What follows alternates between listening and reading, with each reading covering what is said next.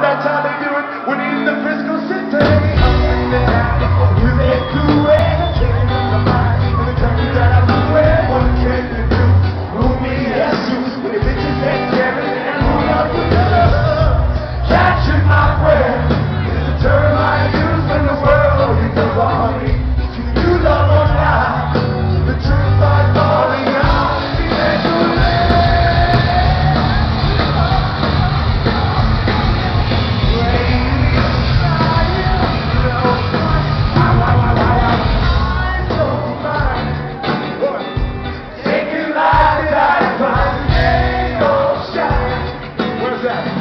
in my body.